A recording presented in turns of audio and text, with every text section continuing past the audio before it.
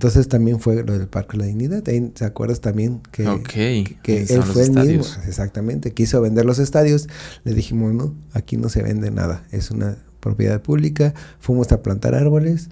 Se metió un amparo.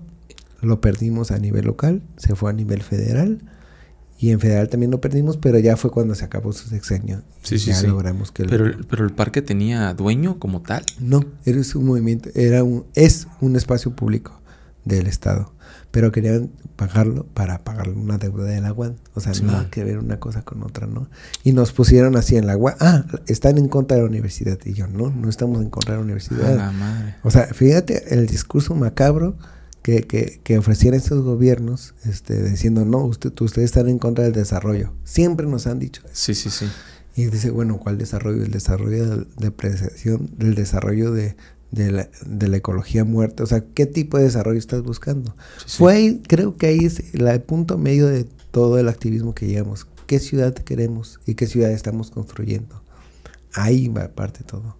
O sea, y, y, yo lo que he hecho, pues hacer cosas locas, me encanta hacer cosas locas, o sea, es sí, lo que hago, o sea, al fin y al cabo eh, me gusta, pero también me gusta aportar algo para la ciudad. Y hay gente que no está de acuerdo, y lo entiendo. Hay gente que, que se asusta porque me pongo en calzones en la vía pública para, que, para quitar un semáforo. O sea, pero para mí es importante claro. que una persona en silla de ruedas pueda pasar por una banqueta. O sea, para, si para ustedes no, pues no es un problema, pero es mi son, son las formas, son unas formas de expresar, decir, ¿sabes claro. que aquí estoy? ¿No me ves? Así le puse la pancarta. Y se hizo viral, exactamente. Hizo o sea, para dar contexto, platícame qué onda, cómo, cómo fue ese, ese rollo, porque hubo fotos, güey, te tomaron sí. fotos ahí parado en, en, en, en sí. el semáforo y sin ropa, güey. Mi, mi mamá, te llevaste los peores calzones. Híjole, pues, y, y, es y, que, no, y, no, estaban lavados. No, manches, o sea, todavía te voy a decir, bueno, unos más decentes, pero bueno, ni modo, así es esto. No, literalmente yo ya estaba harto porque había llevado oficios al gobierno municipal, al gobierno estatal. Oigan, quiten ese eh, semáforo peatonal que está estorbando la banqueta y no pueden pasar las personas en sillas de rueda, okay. carriolas, viejitos. O sea, no era un tema que tú dijeras, tan difícil, tan complicado, sí, sí. pero para mí era importante.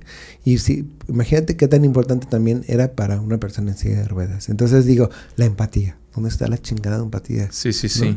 No me hicieron caso, me tiraron al loco. Dije, ah, pues no me ves, pues ahora sí me vas a ver. Pues me encuero. pues sí. cuando me encuero le digo a una amiga, toma una foto. No creas que me estuve ahí todo el tiempo, claro. simplemente me, me encueré, me puse la pancarta, me tomaron la foto y se hizo claro. viral. Lo quitaron.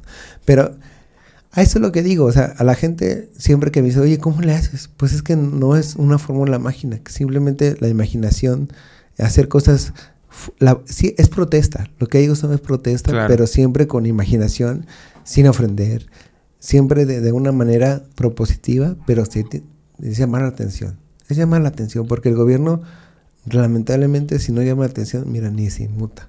Ese es... La, yo he aprendido así. Claro, lo, lo ido madurando, ¿no? Ya a claro. lo mejor que, que Chaquín que clausura congresos y que... Eh, o sea, hay muchísimas cosas